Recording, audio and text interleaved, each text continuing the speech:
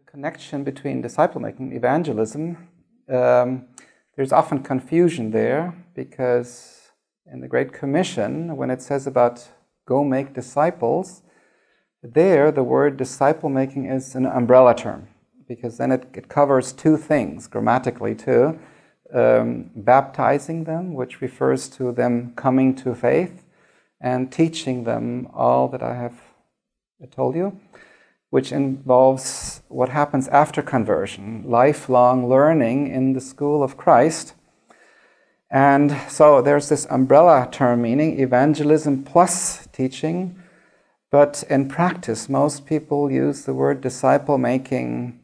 more for the second, for this lifelong teaching. And so there's sometimes confusion if somebody says, uh, Are you making disciples? And some of them uh, include evangelism, and some are assuming that we're already talking of believers who need help.